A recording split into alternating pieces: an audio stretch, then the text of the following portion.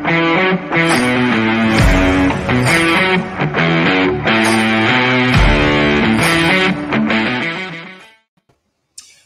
Witam Państwa bardzo serdecznie w ten niedzielny wieczór. E, niedziela i godzina 20 oznacza, że zaczynamy e, nasz cykliczny program Młodzież versus Politycy.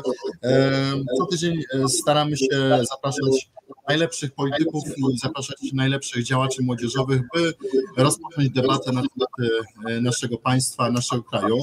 Dzisiaj moim Państwa gościem ze strony polityk, polityków jest e, pan marszałek Marek Kuchciński.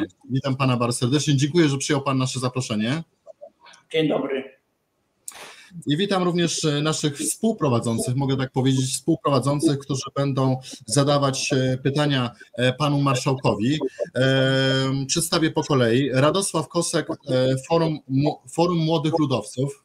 Witam bardzo Dobry wieczór, witam Państwa, witam e, Pana Marszałka i prowadzącego. Dziękuję bardzo, też również witam. E, Mateusz Majkuc, pokolenie 2050. Dobry wieczór Panu, dobry wieczór Panie Marszałku, dobry wieczór Państwu. E, Nikodem Michałek, Młoda Lewica. Dobry wieczór Państwu, dobry wieczór Panie Marszałku, dobry wieczór Państwu. E, Filip Jastrzębski, e, Młodzi Demokraci. Dobry wieczór. Witam bardzo serdecznie również. I Norbert Kustusz, Koliber. Dobry wieczór Państwu, dobry wieczór Panie oraz, oraz Piotr e, Piasecki, Młodzi Mogą. Witam, Witam Pana Marszałka. Myślę, że będzie to bardzo ciekawa debata, zwłaszcza, że pan marszałek jest pierwszy raz e, na naszej antenie. Zapraszam również państwa do komentowania. A więc zacznijmy część merytoryczną e, naszej debaty. Panie marszałku, mam do pana e, pierwsze pytanie. Pierwsze pytanie zadam ja, później nasi goście współprowadzący będą je zadawać. Panie marszałku, moje pytanie jest takie.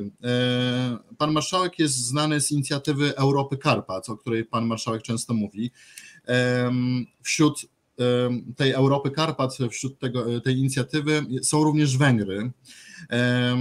Wiemy, że ostatnio Polska i Węgry bardzo się różnią w kwestii e, związanej z, z wojną na Ukrainie.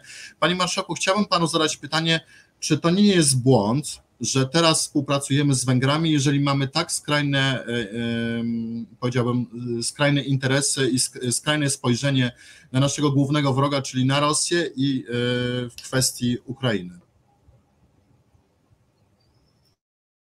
Oczywiście, myślę, że to jedno z ważniejszych e, pytań czy problemów, jakie, przed jakimi stoimy, ale moim zdaniem nie. Ja bym nie zaliczał naszej postawy czy naszych stosunków w kategoriach błędów. E, wydaje mi się, że tak, po pierwsze, nasze stosunki polsko-węgierskie, one, ich tradycja sięga ponad tysiące lat, były różne.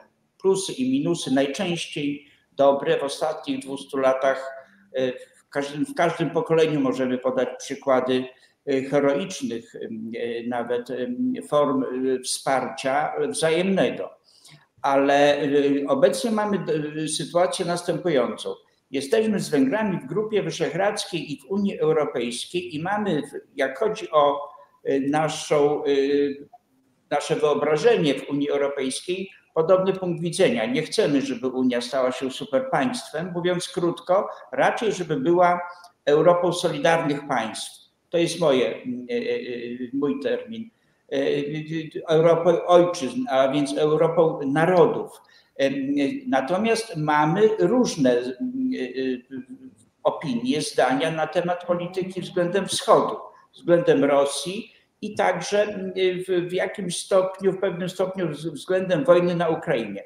Z tym, że tutaj musielibyśmy wyjaśnić sobie, że e, rzecz taką, że w, w, polskiej przestrzeni medialnej i europejskiej przestrzeni medialnej jest wiele nieprawdziwych informacji rozpowszechnianych i w oparciu o te informacje nieprawdziwe budujemy sobie y, y, obraz stosunku y, Węgrów. E, kilka przykładów.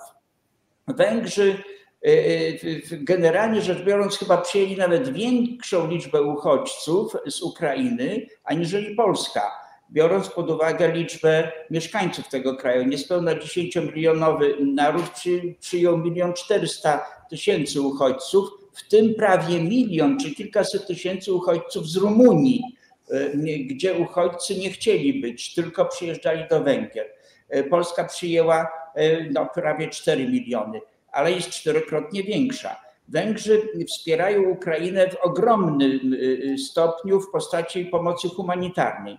Nie godzą się, żeby broń była, przechodziła z ich granic przez ich terytorium na Ukrainę, ale nie mówi się w Polsce, że nie tylko Węgrzy się na to nie godzą, Rumuni też. Dlaczego więc wobec Węgrów takie jest negatywne nastawienie? Węgrzy kupują owszem ropę i gaz od Rosji, ale nie mówi się, że to jest niewielka suma, jeżeli porównamy inne państwa Unii Europejskiej. Generalnie rzecz biorąc, w ostatnich dwóch miesiącach Unia Europejska zapłaciła za gaz i ropę Rosji 63 miliardy złotych. To są dane zebrane przez Financial Times. I w tym 10 miliardów nie złotych, tylko euro. 10 miliardów zapłaciły Niemcy, Francja 7 miliardów chyba, Włochy, Hiszpania, Holandia, Belgia. Węgrzy są na dalekim miejscu w tej wyliczance. A tutaj się cały czas mówi o Węgrzech, którzy finansują i współpracują z, z Putinem. Moim zdaniem jest to forma dezinformacji, żeby przykryć czy odwrócić uwagę od tych, którzy faktycznie z Putinem współpracują i finansują mu armię, która takie zbro, takich zbrodni dokonuje na Ukrainie. Mhm. Dziękuję bardzo Panie Marszałku za, za tą odpowiedź na to pytanie. I teraz e, zapraszam do zadania pytania Radosława e, Koska, jeżeli dobrze, ko, e, Kosaka, Kosaka, dobrze mówię. Kosaka. Tak, tak, tak, tak, tak. Jak, jak malarz, tylko bez jednego S. Ym, dobrze. Panie Marszałku, chciałbym właśnie poruszyć sprawę tak zwanej putynizacji kraju, która moim zdaniem przed 24 lutego następowała w naszym kraju. Była w Polsce ośmiornica, jest, jest nawet ośmiornica wzajemnych niestety połączeń, jak w Rosji. Mamy oligarch, ja to nazywam oligarchizacją społeczeństwa. Jest dusz, zaduszanie klasy średniej przez między innymi Polski Ład. Znika, tak samo jak w Rosji, który nie ma już właśnie klasy średniej. Nie, respektuje, nie ma respektowania wyroków trybunałów zewnętrznych, tak jak w Rosji, na przykład praw człowieka, które były w Rosji. U nas tak samo wyższość prawa polskiego nad innymi powoduje to, że będzie można wyroki Trybunału Praw Człowieka zaskarżać.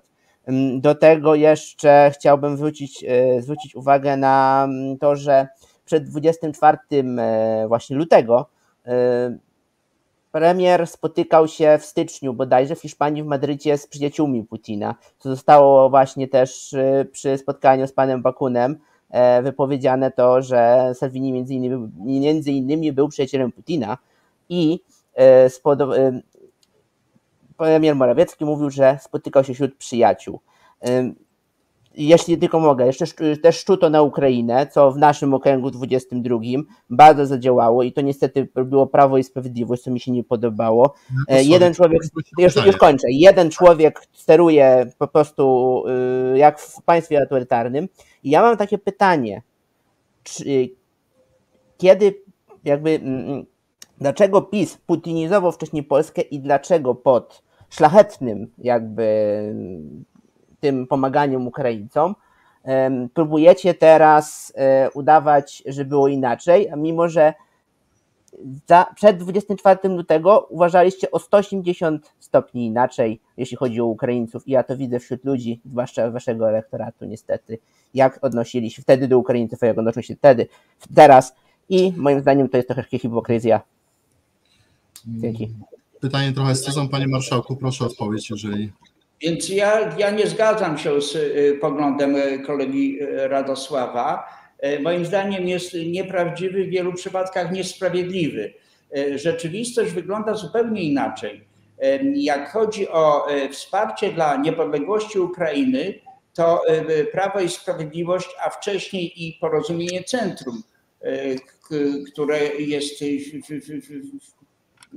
jak gdyby ojcem Prawa i Sprawiedliwości, Prawo i Sprawiedliwość jest kontynuatorem partii Porozumienie Centrum, zawsze byliśmy po stronie niepodległości Ukrainy. Od początku, odkąd Ukraina odzyskała po rozpadzie Związku Sowieckiego niepodległość e, i odkąd Polska, bodajże w 1991 roku, e, jedna z pierwszych, czy nie pierwszy, jako pierwszy kraj, uznał tę niepodległość. Zawsze byliśmy po stronie niepodległości z praktycznych powodów. Dlatego, że im dalej Rosja sowiecka czy Rosja Putina dzisiaj, wcześniej innych, jest od granic Polski, tym jesteśmy bardziej bezpieczni. A my, y, y, kierując się w pewnym sensie racjonalnością politykę, w polityce, uważamy, że z każdym sąsiadem powinniśmy jakoś współpracować i mieć za sąsiada y, państwo przewidywalne, a nie takie, jak to jest, jak w tej chwili wygląda Rosja, czy choćby Białoruś. Ale jak chodzi o Ukrainę, to proszę pamiętać, że w 2004 roku, gdy była pomarańczowa rewolucja, e, e, e, najwięcej chyba z zagranicznych obserwatorów, bo ponad 3000 osób zostało zorganizowanych z Polski przez środowiska związane z prawem i sprawiedliwością przez Przemyśl wówczas chyba 800, 800 obserwatorów pojechało. I to był nasz gest solidarności, przyjaźni e, e, e, postawiony po stronie, wyrażony po stronie Juszczenki. Jak się później jego losy potoczyły, to już jest inna sprawa. Ale my nigdy, my zawsze staliśmy po stronie niepodległości Ukrainy przeciwko siłom postkomunistycznym na Ukrainie, ale nie zapominaliśmy naszych rachunków krzywd, żeby tak e, powiedzieć. E, sprzeciwialiśmy się niejednokrotnie e, lansowaniu Bandery i jego, jego, jego organizacji wojskowych i politycznych jako, jako bohaterów i, i, i sprzeciwialiśmy się, żeby w Polsce te siły były honorowane. To są bardzo trudne sprawy. Dzisiaj biorąc pod uwagę, że Ukraina toczy wojnę o życie z Rosją, która to Rosja e, Putina zagraża e, e, wolności wszystkich państw w Europie Środkowej, o, tym, też o tych sprawach nie mówimy, ponieważ uznajemy, że obrona niepodległości Ukrainy jest naszym pierwszym strategicznym celem, mhm. racją stanu, można byłoby można byłoby e, e, powiedzieć. Panie Marszałku. Tak, tak bym odpowiedział. Rozumiem. Jeszcze Radosław Kosak prosił o adwocem. Radosławie? Tutaj mnie akurat nie widać. Już widać. O, dziękuję. Chciałbym tylko dookreślić, mm, może zapytać o tą część, o putinizacji. Czy nie robiliśmy się w pewnym sensie państwem autorytarnym pod waszą władzą na kształt tego, co było u Putina? To ja odpowiem jednym zdaniem. E, proszę Państwa, na przykładzie e, Trybunału e, Konstytucyjnego czy wyższości prawa krajowego nad prawem międzynarodowym. To, że Sejm taką decyzję podjął i Trybunał Konstytucyjny taką decyzję podjął, że konstytucja w Polsce jest najważniejszym dokumentem, najważniejszym prawem, które stoi ponad międzynarodowymi zobowiązaniami, no to przecież Polska nie jest jedynym krajem. Pierwsze zrobiły to Niemcy. Wiele innych państw Unii Europejskiej takie decyzje podejmowało. Mówię tutaj o trybunałach konstytucyjnych tych państw. Putin, Rosja Putina nie jest członkiem Unii Europejskiej, a więc trudno tutaj porównywać je. Generalnie zarzut putynizacji, to przepraszam bardzo, ale ten zarzut formułowany jest w mediach nieprzychylnych y, rządowi polskiemu, ale nieprzychylnych także Polsce. Głównie w, mediach, których właścicielem są y, różne środowiska niemieckojęzyczne, że tak powiem. Także nie dziwota. E, teraz e, pytanie, proszę, poproszę o pytanie Mateusza Majkuta. E, dobrze. Panie Marszałku, ja mam takie pytanie. Cena paliwa dzisiaj to jest około 8 zł. Tymczasem czytam na stronie Orlenu, że największy koncern paliwowy w roku 2021 wypracował moim zdaniem ogromny zysk na poziomie 11,2 miliarda złotych.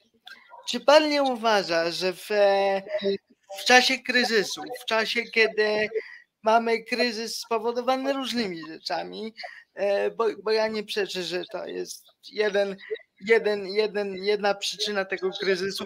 Czy pan nie uważa, że warto byłoby, abym Orlen zrezygnował z swojej marży, którą pobiera, co pomogłoby e, Polakom i spowodowałoby, że cena paliwa dzisiaj mogłaby być tańsza nawet o złotówkę. Wydaje mi się, że tak, ma Pan rację. Z tym, że musimy zwrócić uwagę na okoliczności, w jakich znajdujemy się.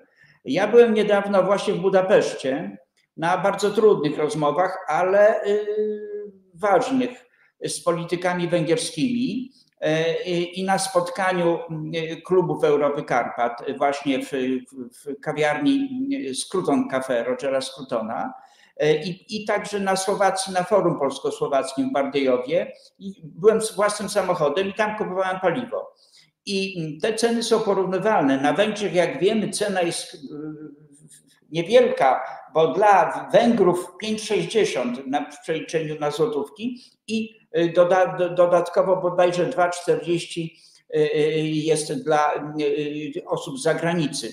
To w sumie jest 8 zł. Ale mówię o tym dlatego, że argument, y, y, y, argumentem za tym, żeby taka była cena w Polsce, a nie niższa, argument jest taki, że gdybyśmy w Polsce dali cenę niższą, to wówczas z Niemiec, z Czech czy ze Słowacji i z Węgier także przy, przyjeżdżaliby, mogliby przyjeżdżać kierowcy i wykupywać jak największą liczbę benzyny i wówczas sam Orlen miałby kłopot.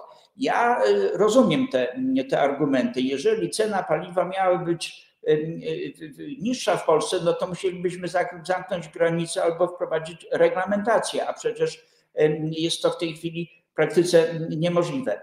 Wiem jedno, że rząd podjął razem z Orlenem podjął decyzję, żeby obniżać VAT i akcyzę w, w tym względzie, a więc to jest kierunek na to, żeby, żeby nasi polscy kierowcy tutaj mieli, mieli jakoś, jakoś łagodniejszą, łagodniejsze możliwości. Natomiast, proszę Państwa, proszę Państwa, zasadnicza sprawa to jest taka, dlaczego te ceny są takie wysokie?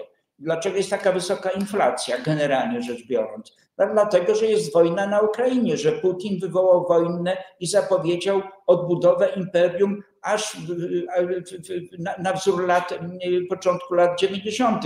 On mówi nawet, proszę, zwracam uwagę w swoim wystąpieniu expose, dzień przed 24 lutego, on mówił, że jego interes, ambitne plany sięgają aż po Albanię, a Szczecin trzeba oddać. Co to znaczy, chyba wszyscy możemy y, zrozumieć. A więc te imperialne zakusy spowodowały, że ceny energii rosną na całym świecie.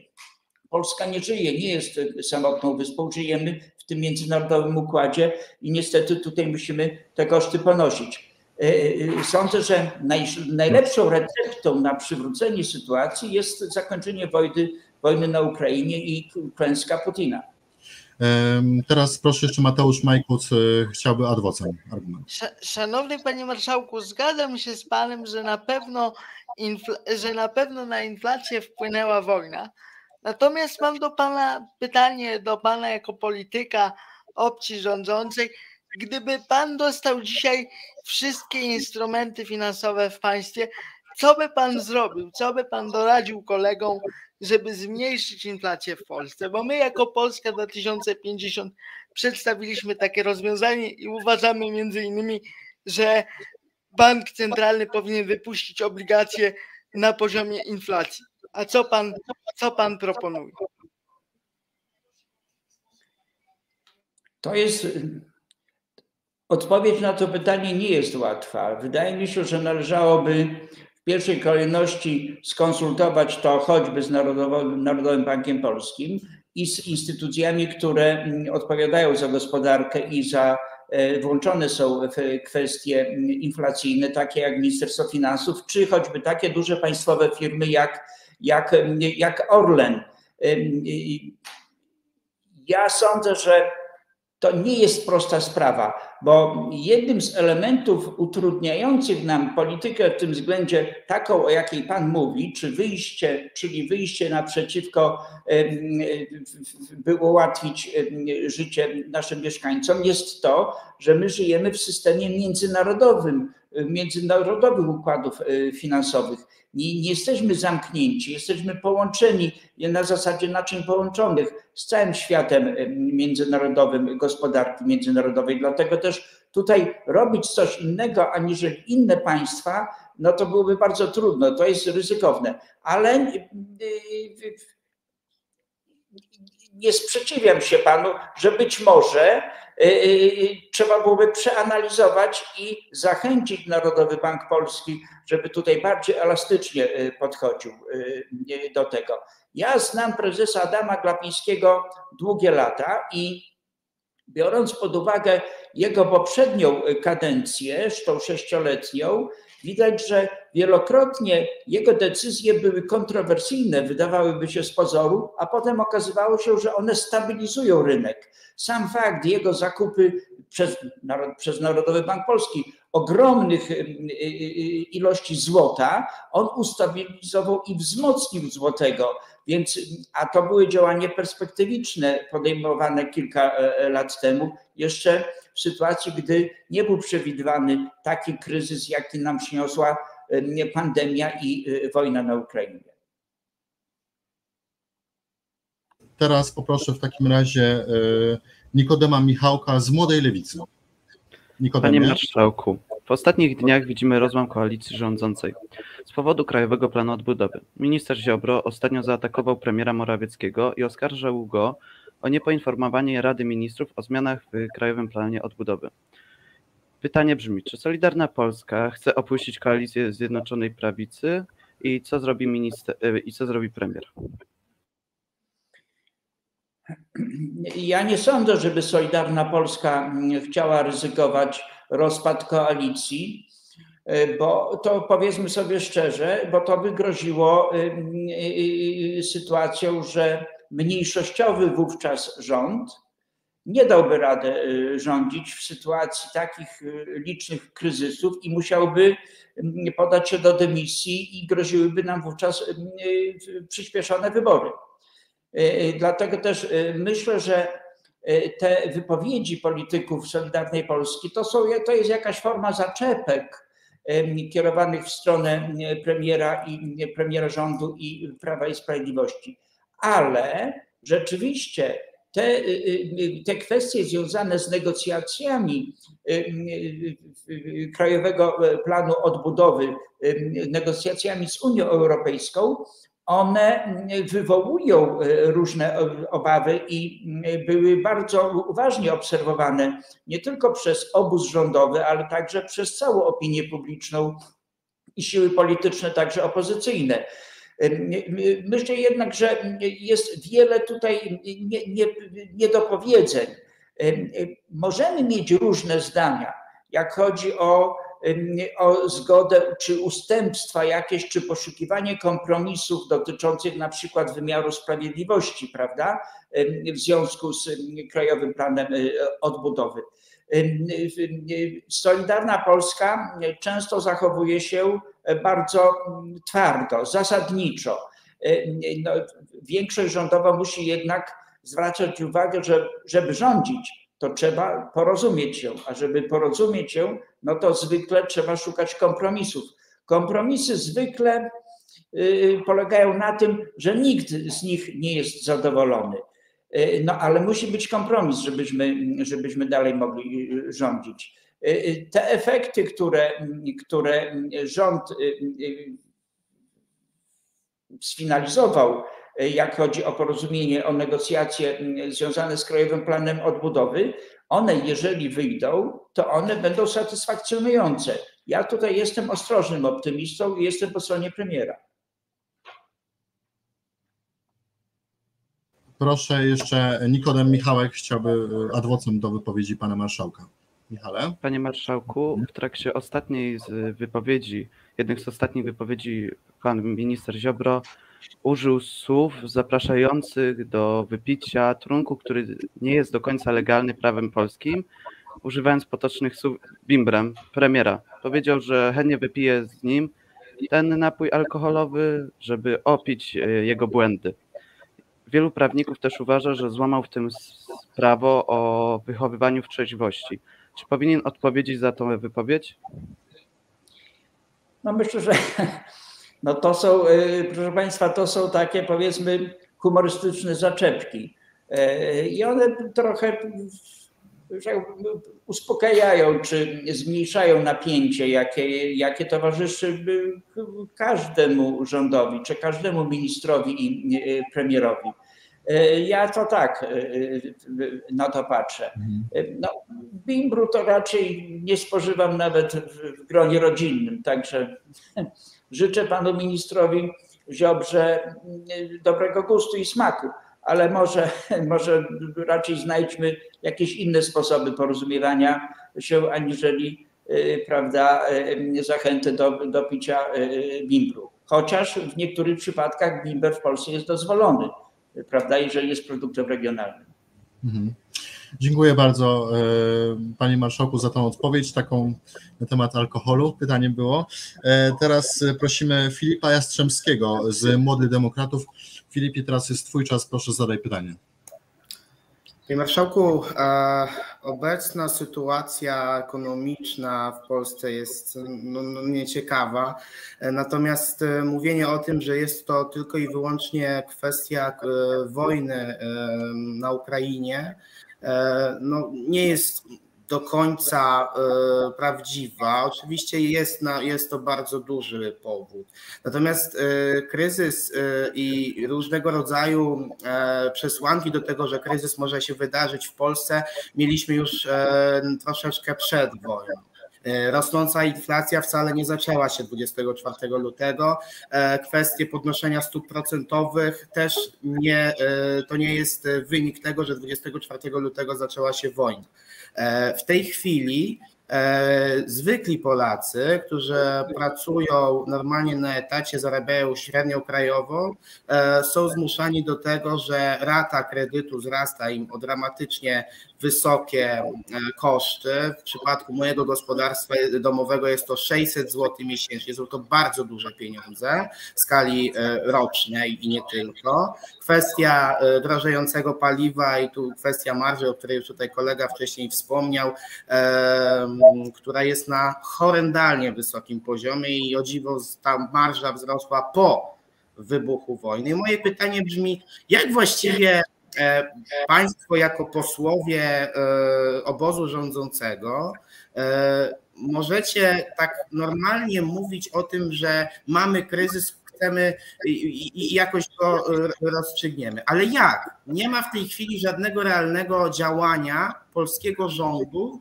które by mogło e, pomóc zwykłym Polakom e, wrócić do normalności finansowej. I mówienie o tym, że mamy tarczę antyinflacyjną, tarczę antyputinowską. Za chwilę tarcza e, ta zmniejszająca stawkę VAT na paliwo się skończy i będziemy mieli paliwo po 10 zł, czy może więcej.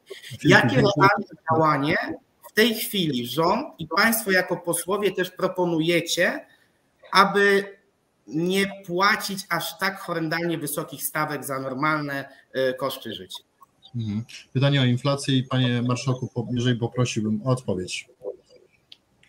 E, e, ja podzielam pogląd kolegi, że przyczyną sytuacji nie najlepszej gospodarczej w Polsce i w innych państwach europejskich na świecie, to nie jest tylko e, wojna e, i agresja e, Rosji Putina. I tego nie mówiłem. Na pewno przyczyn jest wiele, do nich między innymi należy pandemia i skutki nie tylko zdrowotne, ale skutki gospodarcze, zerwane łańcuchy dostaw, jak to się mówi, i tak dalej, i tak dalej. Inflacja i za tym idąca drożyzna. Tylko proszę zwrócić uwagę, że te przyczyny czy te skutki, te sytuacje dotyczą nie wiem czy wszystkich, ale występują w zdecydowanej większości państw i nawet to w dużo większym stopniu. Rząd polski prowadzi już od 20 roku i parlament polski różne, różną działalność, żeby zminimalizować te skutki. Jednym z przykładów ostatnich, które w tej chwili wprowadzane są w życie, to jest obniżka e, podatków. E, podatek CIT mamy na wysokości 9%, podatek PIT e, z 17 do 12% jest sprowadzony, wprowadzony. VAT na żywność i wiele innych towarów, produktów jest zlikwidowany, czyli jest zerowy i tak dalej, i tak dalej. To są przykłady wychodzenia naprzeciwko tym potrzebom polskiego społeczeństwa, żeby te koszty związane z inflacją i z drożyzną, tak nie obciążały Polaków. Ale proszę zwrócić uwagę, że, że sytuacja na rynkach pracy w, w, w innych państwach europejskich jest dużo gorsza. W Polsce mamy chyba po raz pierwszy od 30 lat sytuację, gdzie mamy najniższy, prostu, najniższą stopę bezrobocia w porównaniu z wszystkimi innymi państwami, a to znaczy, że jednak miejsca pracy są utrzymywane. W roku 2020, gdy mieliśmy pierwszą, pierwszy rok pandemii, uruchomiony proces skierowania pieniędzy ogromnej sumy 200 miliardów, ponad 200 miliardów złotych dla wszystkich przedsiębiorstw, od tych największych e, polskich aż po najmniejsze, on spowodował, że dzięki temu e, uratowaliśmy co najmniej 3 miliony pracy. W innym przypadku musiałyby być zbiorowe zwolnienia. Także mnie się wydaje, że tutaj premier Morawiecki i, i jego rząd działają, e, robią wszystko, co jest możliwe, żeby akuratnie w tych kwestiach e, tutaj zapewnić Polakom przejście jak naj, z jak najmniejszym problemem e, przez ten trudny okres, ten trudny czas. Bo zgadzam się, ten czas jest trudny, rzeczywiście nie, ale nie tylko w Polsce. Mhm. Panie marszałku, w takim razie jeszcze Filip Jastrzębski prosił o adwocem.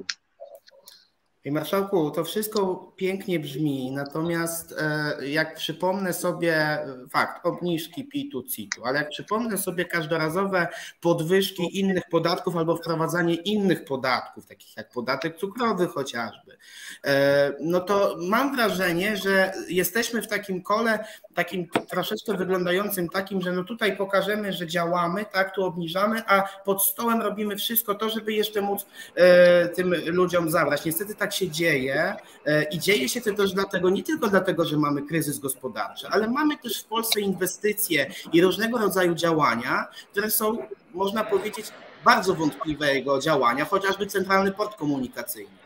Od trzech bodajże lat funkcjonuje spółka CPK, e, która miała za zadanie stworzyć cały plan tego portu w Baranowie. W tej chwili nie ma ani planu. Ludzie, którzy tam mieszkają, nie wiedzą na dobrą sprawę, czy będą przesiadlani, czy nie będą przesiedleni. W 27 roku miał powstać centralny port komunikacyjny. W tej chwili nie wiemy, co się dzieje, a pieniądze, i to horrendalne pieniądze, bo to są miliony złotych, idą na spółkę CPK. Więc jeżeli mówimy o tym, że rząd tutaj działa w kwestii zmniejszenia podatków, to może warto się zastanowić, żeby też zacząć działać w sposób następujący i nie wprowadzać kolejnych podatków, nie prowadzić inwestycji, które nie mają żadnego sensu, a pochłaniają setki milionów złotych, które są finansowane przecież z kieszeni Polaków, a nie państwa jako rządu. Panie marszałku. Ja odpowiem y, y, panu tak najważniejsze podatki, jakie y, płaci każdy obywatel, y, to są y, jeden od firm, czyli CIT, od osób fizycznych, czyli PIT i dwie akcyza oraz, oraz VAT. I w tych wszystkich czterech podatkach one są obniżane według mojej wiedzy i to w bardzo znacznym stopniu. Ponadto wprowadzone przepisy w 2016-2017 roku zmieniające funkcjonowanie służb skarbowych i celnych spowodowały, że uszczelniliśmy, e, proszę Państwa, e, ściągalność podatku VAT w stopniu niespotykanym chyba, co najmniej w Europie, jeżeli nie w świecie. Kilkadziesiąt miliardów złotych dodatkowo wpływało każdego roku z z tego właśnie uszczelnionego, uszczelnionych przepisów z podatku VAT, dzięki czemu mieliśmy między innymi na wszystkie działania związane ze wsparciem grup zawodowych czy grup społecznych w Polsce, które tego wsparcia potrzebują, rodziny, emeryci, renciści itd., itd. Ale tutaj ja się nie zgadzam z panem, że my podnosimy podatki. Niektóre, niektóre opłaty czy przypisy to owszem, ale generalnie rzecz biorąc, w Polsce podatki są obniżane. I to dzięki temu my utrzymujemy miejsca pracy, bo im mniejsze podatki Polacy płacą, tym, tym, tym więcej osób mogą, mogą zatrudniać. My wprowadzamy obniżki, wprowadziliśmy w ubiegłym roku, dwa lata temu, likwidację podatku PIT dla ludzi młodych do 26 roku życia, jeżeli pracują.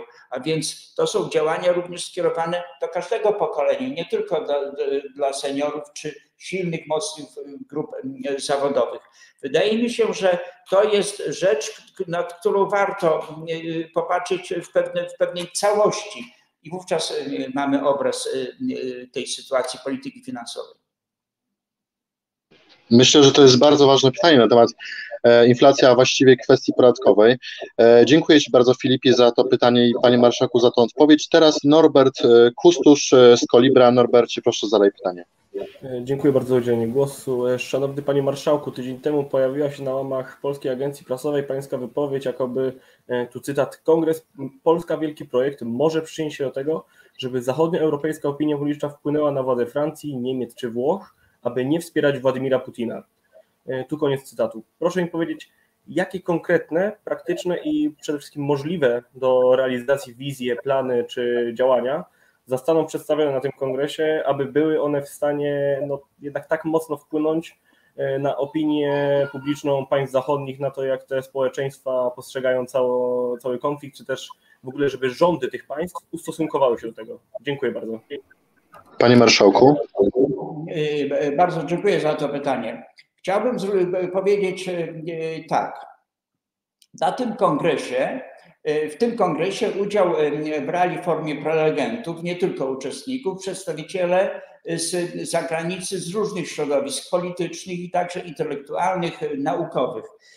I przysłuchując się w pierwszym dniu tym panelom dotyczącym i polityki zagranicznej, i generalnie sytuacji związanej z wojną na Ukrainie, uznałem, że rzeczywiście, jeżeli te informacje, również formułowane opinie negatywne, krytykujące politykę Putina i politykę wspierania Putina przez państwa zachodnioeuropejskie głównie, które jednocześnie nie utrudniały uszczelnianie sankcji, jeżeli te informacje poprzez tych przedstawicieli Niemiec, Francji, Hiszpanii i innych zostaną przekazane opinii publicznej w państwach zachodnich, to może spowodować, że opinia publiczna bardziej stanowczo zwróci się do swoich przedstawicieli w parlamentach, a więc do, do deputowanych czy parlamentarzystów i jednocześnie bardziej skutecznie naciśnie rządy niemieckie czy francuskie, żeby odeszły od tej właśnie takiej polityki robienia dobrej miny, jeżdżenia do, do, do, do Kijowa, rozmów częstych z, z Putinem i płacenia i finansowania armii Putin, Putina. A przykład, jaki ta, taka metoda, jaki dobry przykład dała, to jest przykład Stanów Zjednoczonych. O tym, otóż ja wielokrotnie rozmawiałem w ciągu ostatnich miesięcy z przedstawicielami Stanów Zjednoczonych, z takich think tanków jak Atlantic Council czy przedstawicieli Kongresu i Izby Niższej i, i Senatu, ale także środowisk, które działały na rzecz wyjaśnienia czy rozpowszechnienia informacji o tym, co dzieje się na Ukrainie.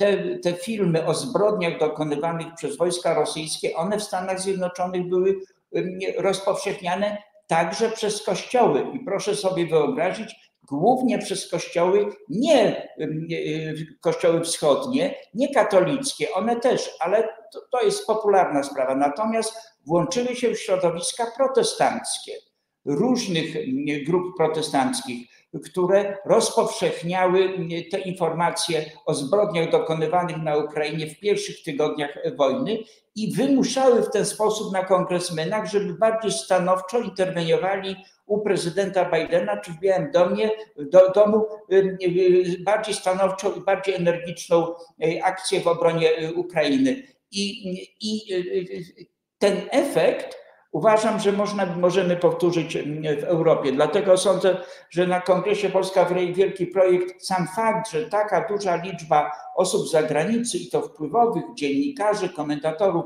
była, on powinien dać ten element właśnie kuli śniegowej, gdzie opinia publiczna wymusi na rządach y, państw zachodnich, żeby bardziej zdecydowanie y, y, zaczęły działać w obronie Ukrainy.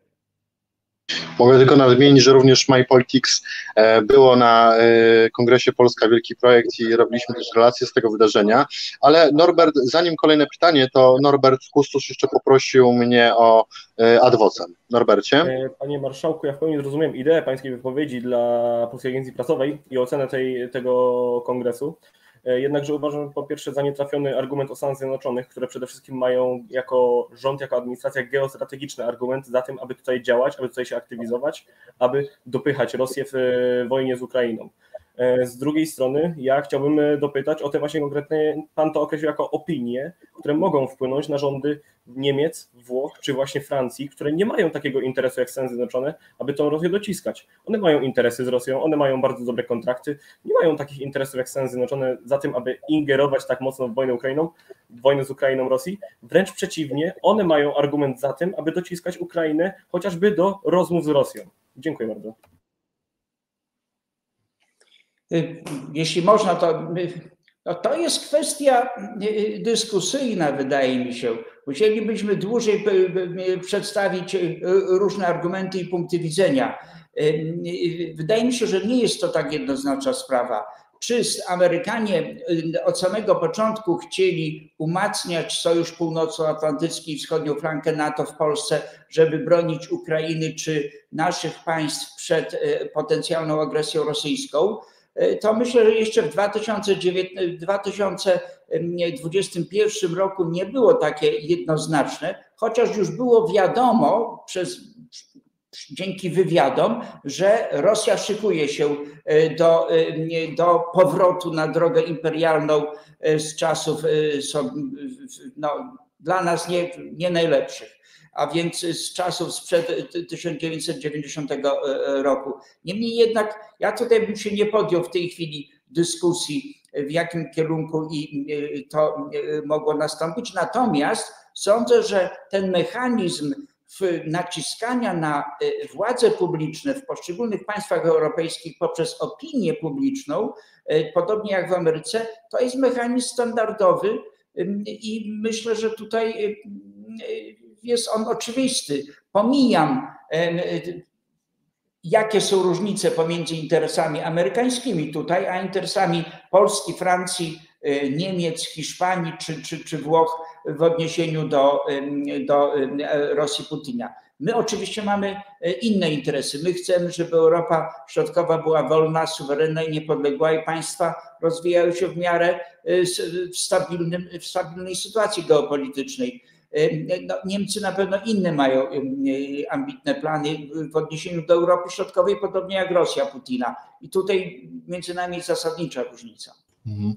Dziękuję Panie Marszałku. Będziemy musieli troszkę przyspieszyć, bo e, minęły już trzy kwadranse naszego programu. E, teraz proszę w takim razie e, Piotra Piaseckiego, Młodzi Mogą, o pytanie. Piotrze. Dziękuję. Zanim słuchać? Słychać jak najbardziej. Jak najbardziej.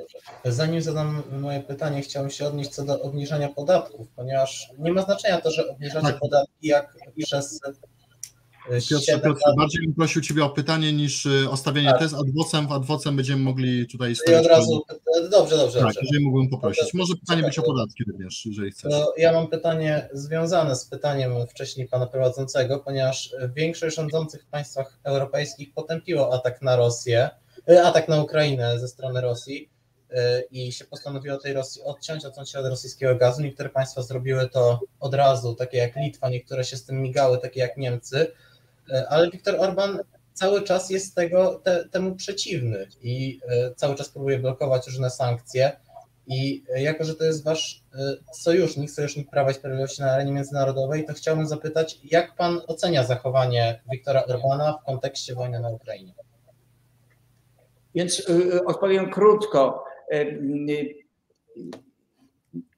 Po pierwsze, przedstawiciele państwa węgierskiego potępiają wojnę na Ukrainie i także Viktor Orban na Ukrainie. My, myśmy kilka tygodni temu, na, zaprosiłem specjalnie ambasador Węgier, panią Kowacz w Warszawie, na spotkanie z grupą parlamentarzystów, żeby ona przedstawiła co się dzieje, bo sami nie rozumieliśmy tych wypowiedzi, które media przedstawiały.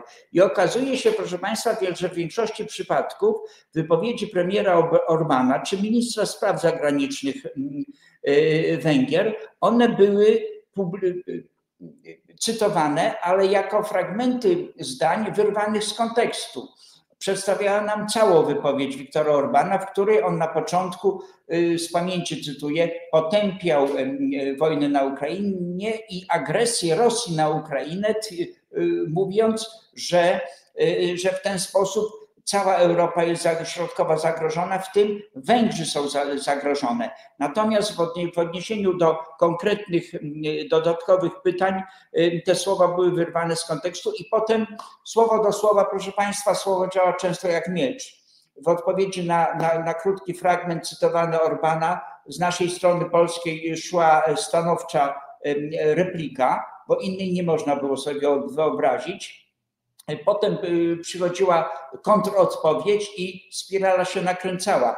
E, pojechaliśmy na, do Budapesztu z marszałkiem Ryszardem Terleckim właśnie i y, posłem Bogusławem Sonikiem właśnie po to, żeby wyjaśnić sprawę, żeby dociec, gdzie jest ten y, problem.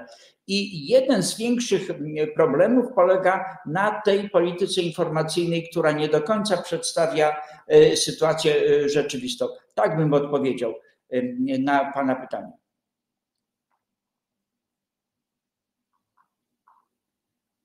Przepraszam, tu mój mikrofon. Piotrze, poprosiłeś jeszcze o adwocem.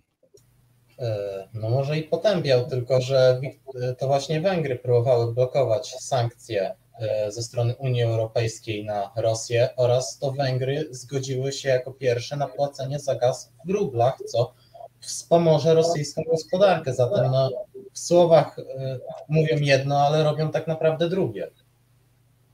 To ja odpowiem tak, że oczywiście nie tylko Węgry, bo i Francja i, i, i Niemcy tutaj bardzo zabiegały o różne, y, o różne, że tak powiem, szczeliny w tych, w tych sankcjach. Natomiast na samym początku powiedziałem, że w przypadku wobec, w odniesieniu do polityki wobec Rosji i wojny na Ukrainie, no to mamy różne zdania. Nie mamy jedno, jednakowej opinii Polska i, i Węgry, ale biorąc pod uwagę całość naszej polityki, także w odniesieniu do tej, która dzieje się w Unii Europejskiej, przyszłości Unii Europejskiej, Europy w ogóle, polityki migracyjnej e, choćby, to tutaj mamy zdecydowanie w większości przypadków e, podobne zdania i generalnie rzecz biorąc, moim zdaniem możemy powiedzieć, że, że biorąc pod uwagę jeszcze elementy historyczne, że z Węgrami jesteśmy, jesteśmy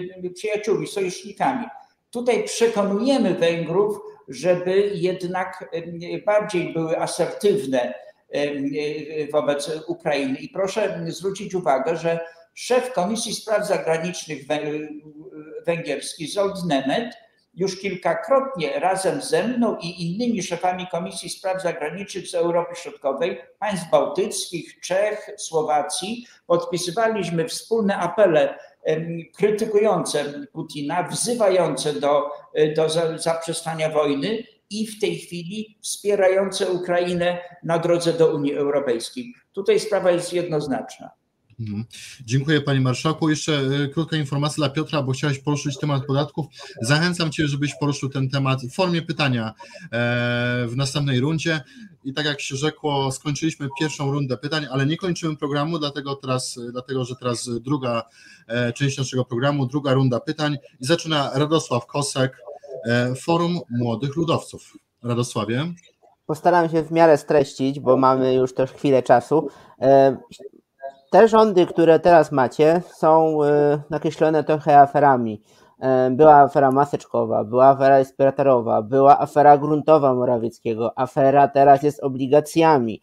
E, też tutaj mamy aferę związaną ostatnio, dziennikarze dostali z Polski Press pod szyldem Olenu, można powiedzieć, dostali 500 zł, żeby ładnie pisali o właśnie inflacji, o paliwie i nawet dostali jakby zalecenie, że mają szukać eksperta, który wyjaśni, dlaczego paliwo jest drogie. Tylko takiego, takiego eksperta, który jest właśnie wam przychylny i odnośnie tu propagandy, o której tam pan mówił odnośnie e, putinizacji kraju, że nie e, te media przeciwne wam mówią, że jest, że właśnie to one mówią o tej putinizacji kraju. Mam do tego pytanie. Czy te rzeczy, które wymieniłem, nie świadczą o tym, że wy jako PiS nadużywacie władzy i wasze środowisko i nie jest to moralne wobec obywateli, że na przykład wiecie więcej odnośnie na przykład inflacji, jaka będzie i bierzecie, na przykład taki premier Morawiecki bierze obligację nastawioną na inflację, która rośnie i dzięki temu zarabia. Tak samo senator Bierecki też w waszej e, partii to samo zrobił i zarobił naprawdę dużo pieniędzy, co jest moim zdaniem niesprawiedliwe wobec nas obywateli. Panie Marszałku? Odpowiem tak. Ja nie, ja nie podzielam poglądu mm, e, e, dotyczącego, że te tak zwane afery wszystkie po pierwsze są e, prawdziwe. Trzeba byłoby sprawdzić. Media tutaj potrafią wyolbrzymić i potrafią zrobić ogromną szkodę. Sam jestem tego przykładem tak zwana afera podkarpacka e, do tej pory e, bardzo komplikuje e, mi życie, a jest kompletnie, kompletną nieprawdą i osoby, które to przygotowały w tej chwili w sądzie czekają na, na wyroki. Ale słowo zostało powiedziane i wokół tego zamieszanie było ogromne. Co do innych spraw, o których tutaj e, Pan mówił, to moim zdaniem trzeba byłoby to dokładnie e, sprawdzić.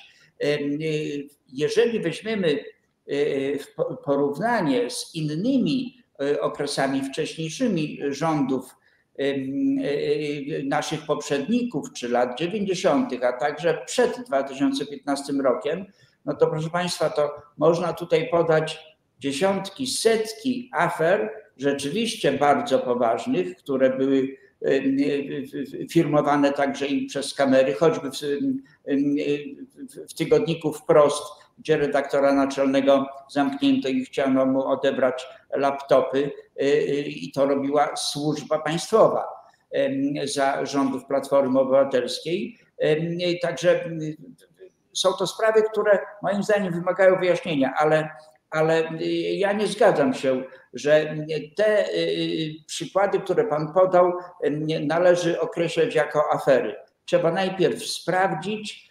Y, no, zasada domniemania niewinności jest, jest, obowiązuje aż do czasu ostatecznego wyroku sądowego. Mhm. Dziękuję bardzo Panie Marszałku. I teraz poproszę o pytanie Mateusza Majkuta z pokolenia 2050. Dziękuję. Panie Marszałku, ja mam takie pytanie odnośnie e, obecnie prowadzonej polityki względem Unii Europejskiej, bo Pan tu mówi, że Pan jest ostrożnym optymistą, jest po stronie premiera. Tymczasem e, jak to jest, że prezes Pana partii, Jarosław Kaczyński, mówi, że nie wiadomo, e, czy Niemcy nie zbroją się na nas, mówi, że Niemcy się zbroją, ale tak w zasadzie to nie wiadomo na kogo i przeciw komu. I w tym samym czasie, czy chwilę wcześniej, przyjeżdża do nas do kraju Ursula von der Leyen.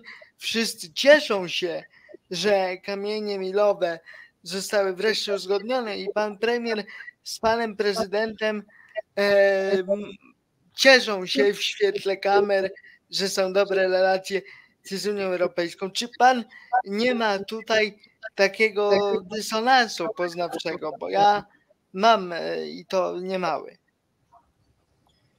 No to więc odpowiem e, tak. Ja oczywiście, jeżeli mówimy po której stronie jestem, to nie tylko po stronie premiera Morawieckiego jestem, ale przede wszystkim po stronie e, premiera Jarosława Kaczyńskiego. Jeżeli on wskazuje rolę polityków niemieckich. W tych wszystkich zawirowaniach i kłopotach, jakie Europa i świat ma, także i wywołanych wojną przez Rosję, to proszę zwrócić uwagę, że to, to oznacza, że gdyby Europa Zachodnia nie wspierała Rosji Putina, to Putin by nie podjął się takiej agresji, jaką, jaką zrobił wobec Ukrainy, a przypuszczam także i nie podjął się tego, co zrobił w Gruzji, czy nawet w Czeczenii 20 lat, 20 lat temu. Natomiast miał przyzwolenie państw zachodnich i to, że główną rolę w Europie Zachodniej pełnią Niemcy, nie tylko gospodarczą i polityczną, ale w ogóle, i mają ambitny plan rządzić całą e, Europą Środkową, no to to jest e, sprawa wiadoma powszechnie. Natomiast tutaj bym zwrócił uwagę, że jeżeli my spotykamy się z przedstawicielami Komisji Europejskiej czy Unii Europejskiej, no to jednak musimy traktować przedstawiciela Unii Europejskiej jako przedstawiciela całej Unii Europejskiej, a nie Niemiec, choćby y, był to obywatel niemiecki czy wywodził się y, z Niemiec. Ja tutaj nie widzę jakichś, jakichś dysonansów. To jest polityka, która jest prowadzona, proszę Państwa, w dość skomplikowany sposób. Równolegle musimy prowadzić relacje z Unią Europejską, już nie mówiąc o innych globalnych kwestiach. Y, relacja z każdym Y, z państw członków Unii Europejskiej, z Komisją Europejską, ba, nawet z takimi instytucjami jak Komisją Wenecką czy Trybunałami Sprawiedliwości czy Praw Człowieka Unii Europejskiej, ale także z państwami, które nie są członkami Unii Europejskiej, jak Wielka Brytania czy y, Turcja, czy inne państwa, które w tej chwili myślą o wstąpieniu do NATO, jak, jak y, Szwecja. My również prowadzimy politykę, wspierającą te państwa e, europejskie, które chcą przystąpić do Unii Europejskiej, a jak dziwnym trafem są, są, są im rzucane kłody pod nogi, jak państwa bałkańskie. Zobaczymy, co będzie z Ukrainą i, i Mołdawią i Gruzją. Ale to jest skomplikowana sprawa, prowadzenie tak różnorodnej polityki. Moim zdaniem pomimo tego, że krytyka ze strony opozycji jest bardzo twarda i stanowcza, to nasza polityka zagraniczna y, jest dobrze prowadzona, zarówno przez ministra spraw zagranicznych, jak i prezydenta, jak i przez premiera, bo te trzy instytucje, te trzy ośrodki y, y, prowadzą politykę zagraniczną. Już nie mówiąc o dyplomacji parlamentarnej, która również ma swoje trzy grosze wspierając politykę państwa w tych sprawach. Mhm. Dziękuję bardzo Panie Marszałku. Też e, krótka informacja dla widzów. Jeżeli Wy macie pytanie do Pana Marszałka, to bardzo chętnie zapraszam Was do tego, żebyście e, pisali te pytania w komentarzach. Być może uda nam się również zadać Panu Marszałkowi te pytania. Teraz e, kolej Nikodema Michałka z Młodej Lewicy. Nikodem to się, nam się pojawia i znika to z powodu burz. Powiedz może na początku, czy już wszystko w porządku, czy... Chyba już wszystko w porządku. To zachęcam Cię do zadania pytania w takim razie panu marszałkowi. Panie marszałku, mm, stan psychiatrii jest zatrważający i to chyba wszyscy możemy tutaj stwierdzić. W Wielkopolsce nie będzie oddziału psychiatrii dziecięcej już niedługo, a w wielu rejonach Polski takowe oddziały są przepełnione, tak że często nie ma miejsc nawet na podłodze. Co Prawo i Sprawiedliwość zrobiło w ostatniej kadencji i tej kadencji i czy Ministerstwo Zdrowia ma jakieś plany co do psychiatrii? Czyli przechodzimy teraz do tematu zdrowia. Panie Marszałku. Dziękuję bardzo za to pytanie. To muszę powiedzieć, że to jest chyba jedno z, jeden z z większych kłopotów naszego państwa. Nasz rząd, minister zdrowia właściwie, Ministerstwo Zdrowia, chyba w ubiegłym roku przygotowało i wdrożyło, wprowadziło w życie Narodowy Program Zdrowia Psychicznego, wprowadzając pilotaże w niektórych szpitalach, e, jak rozumiem, domyślnie zakładając, że ten Narodowy Program Zdrowia Psychicznego zostanie rozpowszechniony w całym kraju. E, I to jest dobry, e, dobry sygnał. Ale że jest źle w opiece, w ochronie zdrowia i w służbie zdrowia, szczególnie w tym obszarze zdrowia psychicznego, no to, to, to, wszyscy wiemy. Ja tutaj nie będę nikogo y, z Państwa y, y, czarował, że tak powiem, że, jest, że, nie, że nie, jest najlepiej, nie jest najlepiej. W ciągu ostatnich dwóch, trzech nawet lat sytuacja jeszcze bardziej pogorszyła się, bo pandemia spowodowała ogromne zwiększenie ludzi wymagających wsparcia terapeutycznego czy wręcz e, w e, szpitalach zdrowia psychiatrycznych czy innych ośrodkach, a na dodatek mamy do czynienia z sytuacją, że uchodźcy wojenni z Ukrainy, przecież wielu z nich przeżywa ogromne traumy. To również wpływa na niektórych Polaków tutaj żyjących. Poza tym programem, Narodowym Programem Zdrowia Psychicznego i zwiększaniem Y, corocznym pieniędzy na y, ochronę i służbę zdrowia. Docelowo to ma być 6% w ciągu najbliższych y, paru lat. To myślę, że Pan zwrócił słusznie uwagę, że powinniśmy tutaj skierować władze państwowe, parlament powinien skierować większą i mocniejszą uwagę. Ja przyjmuję to jako postulat do realizacji. Mhm. Dziękuję Panie Marszałku. E, I teraz przechodzimy do e, Filipa Jastrzębskiego z, z Młodych e, Demokratów. Filipie. Panie Marszałku, nie spodziewałem się, że z Pana ust usłyszę wzmiankę o aferze podkarpackiej. Szczerze powiedziawszy, nie chciałem, że tak powiem. Nie było moim zamysłem, żeby dzisiaj o tym mówić, natomiast no jeżeli wie pan, no, nie, przestał być pan marszałkiem Sejmu akurat w okolicznościach, między innymi przy tej aferze, no to jednak no, no, można się zastanowić, o co w tym wszystkim chodzi. Natomiast nie o tym. E, Barbara Nowak, kurator e, oświaty w Małopolsce, od wielu lat prowadzi działania stricte polityczne skierowane przeciwko opozycji, zabraniając między innymi różnych inicjatyw w szkołach, które mają na cel, mają cel edukacyjny, natomiast ponieważ Barbara Nowak uważa, że tak nie jest, to jest to piętnowane, są, pojawiają się komentarze bardzo paskudne, można powiedzieć, o pewnych, o pewnych osobach.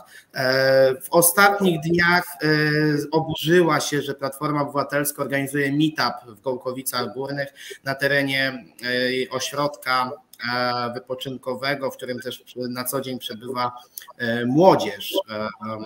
I takie moje pytanie, jak pan sądzi, dlaczego zezwala się na to, żeby kurator oświaty w Polsce mógł tak politycznie się zachowywać i zabraniać inicjatyw, e, które nie są e, za przeproszeniem pisowskie bo e, szczerze powiedziawszy, słabe to jest, że e, jeżeli młodzież, e, a prawda jest taka, że młodzież w Polsce za bardzo za opcją rządzącą się nie opowiada, dlaczego jeżeli ktoś nie jest zapisem, a jest chociażby właśnie z młodego pokolenia, no to musi być piętnowany i inicjatywy dla młodych muszą być, jest próba ich zabronienia, bo taką chęć miała Barbara Nowak w kontekście meetupu Platformy Obywatelskiej, który odbył się w weekend.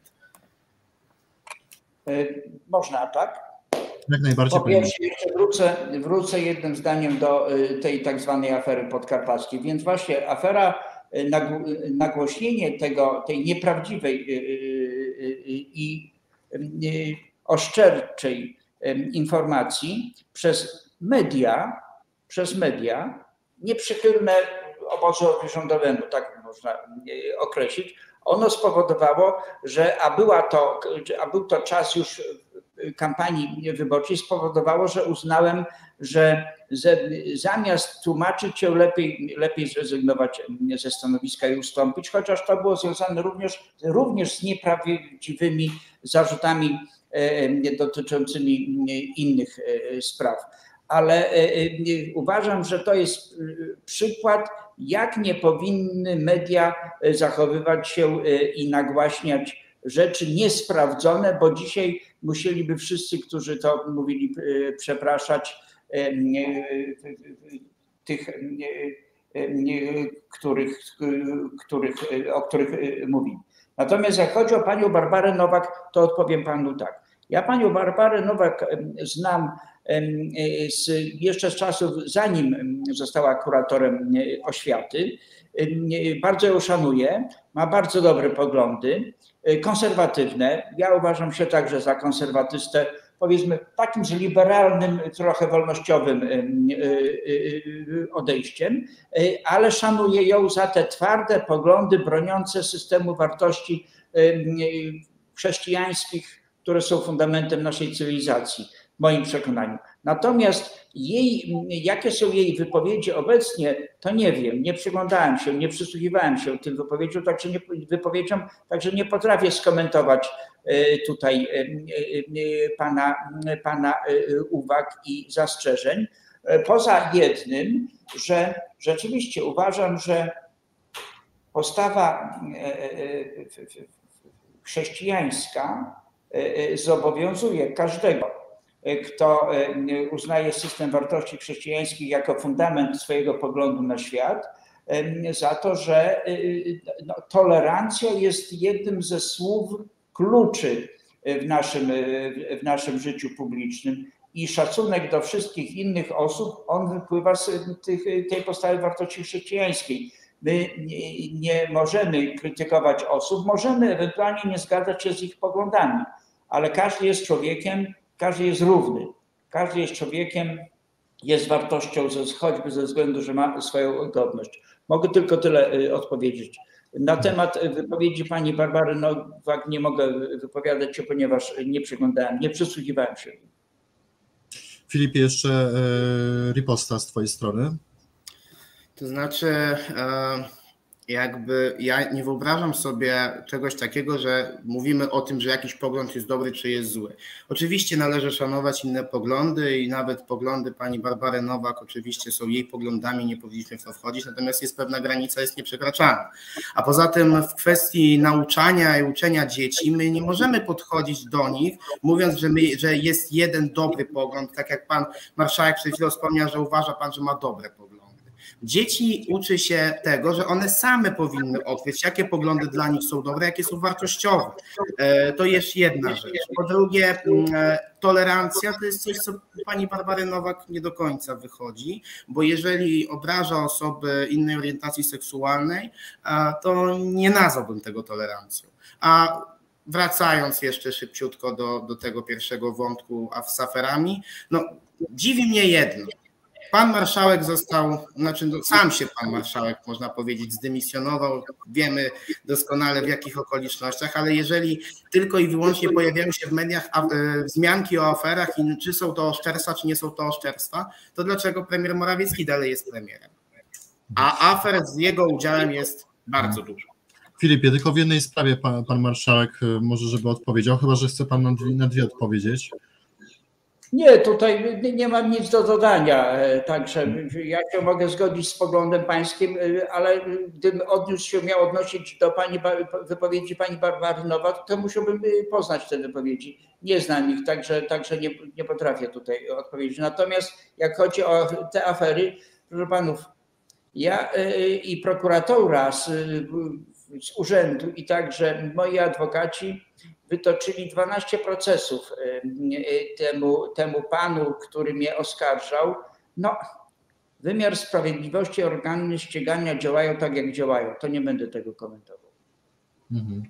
Dziękuję bardzo. E, teraz Norbert Kustusz z Kolibra ma do pana marszałka pytanie. Norbercie. Dziękuję bardzo za udzielenie głosu. Szanowny panie marszałku, jako przewodniczącego Sejmowej Komisji Spraw Zagranicznych chciałbym zapytać, jak wyglądają obecne spojrzenia i perspektywy na stanie na straży prawdy historycznej w kontekście Wołynia, ponieważ w ostatnim czasie pojawiają się pewne głosy w przestrzeni medialnej, czy też nieoficjalne pogłoski ze strony nawet rządzącej, jakoby były dążenia, czy też właśnie zmiana trendu politycznego do tego, aby pójść na ustępstwa w kontekście zaakceptowania kultu Stepana Bandery, czy też organizacji mu podlegających jak OUN i UPA, e, w zamian za e, jakby ustabilizowanie i e, prostszą drogę do budowania sojuszu i przyjaźni polsko-ukraińskiej na poziomie państwowym. Dziękuję. Ja mogę powiedzieć tak, że parę lat temu, kilka lat temu Sejm Rzeczypospolitej Polskiej podjął uchwałę zdecydowaną większością głosów, potępiającą zbrodnie ludobójstwa dokonywane przez e, właśnie te organizacje banderowskie.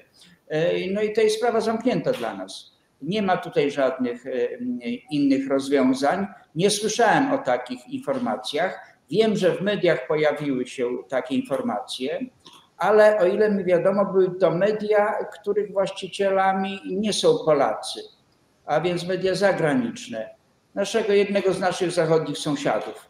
Mogę domyśleć się, że ta informacja była puszczona właśnie po to, żeby skłócić nas czy zniechęcić do wsparcia Ukrainy w walce o niepodległość.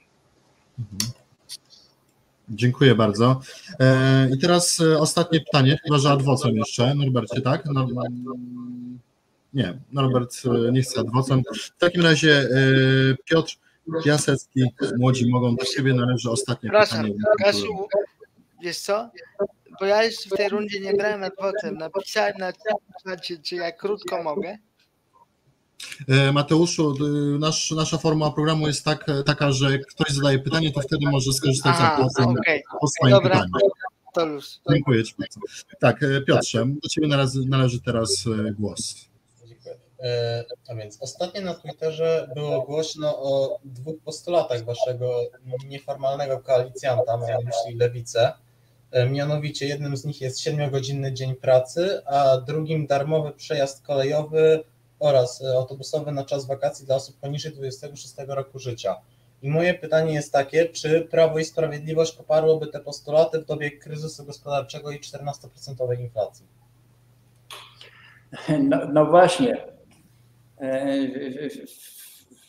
istota rzeczy właśnie tkwi w tym e, słowie kryzys gospodarczy. Bo generalnie rzecz biorąc, ja bym chętnie poparł e, bezpłatne e, środki komunikacji dla ludzi młodych. Siedmiogodzinny dzień pracy to moim zdaniem e, raczej tego bym nie poparł. Raczej sądzę, że powinniśmy iść w odwrotnym kierunku, ale wszystko zależy od tego, jak będziemy, czy będziemy w stanie wprowadzić takie przepisy, ze względu na y, sytuację gospodarczą, ze względu na kryzys gospodarczy. Mogę powiedzieć, proszę Państwa, tak, że gdybyśmy mieli sytuację wyjścia z kryzysu, jeżeli taka będzie w przyszłości, gdy wyjdziemy z kryzysu i gdy ta sprawa, te postulaty y, zostaną postawione, to gdy będzie mi dane, że będę prowadził rozmowy z koalicjantami, no, to będę także i moich kolegów i koleżanki z Prawa i Sprawiedliwości zachęcał, żeby w tym kierunku iść. To znaczy y, y, ułatwiać jak, w jak największym stopniu y, życie ludziom, szczególnie, szczególnie młodym w Polsce. Natomiast nie będę za siedmiogodzinnym tygodniem, średniodniowym tygodniem pracy, bo uważam, że niedziela jako dzień święty, który jako dzień święty należy święcić, ona jest, e, powinna być przeznaczona e, dla rodziny i dla odpoczynku. Mhm. I tym postulatem, e, panie marszałku, i tą deklaracją kończymy nasz program. Dziękuję bardzo.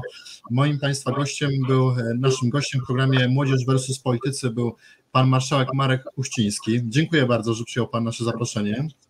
Dziękuję bardzo. Dziękuję, pozdrawiam.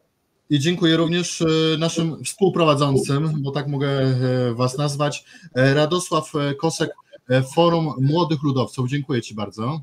Dziękuję i panem marszałkowi. Chciałbym tylko uzupełnić, że proszę zobaczyć, co robi telewizja polska w kreowaniu afer sztucznych. z tą deklaracją również. Mateusz Majkut, pokolenie 2050. Majkut, panie redaktorze, dziękuję Majkut. bardzo i do usłyszenia w przyszłości. Mateusz Majkut, oczywiście zapisuję mój błąd. Nikodem Michałek, Młoda Lewica. Dziękuję bardzo. A, nie ma z nami. Filip Jastrzębski, e, Młodzi Demokraci. Bardzo dziękuję. Dziękuję Ci również, Filipie. E, Norbert Kustusz z Kolibra. Dziękuję Panie Marszałku, dziękuję Panie Rektorze, dziękuję współdebatantom. Oraz Piotr Piasecki, e, Młodzi Mogą. Dziękuję. Bardzo dziękuję również naszym widzom, bez których tego programu by nie było i zapraszam oczywiście w kolejnym tygodniu również program Młodzież versus Politycy. Jeszcze raz bardzo dziękuję.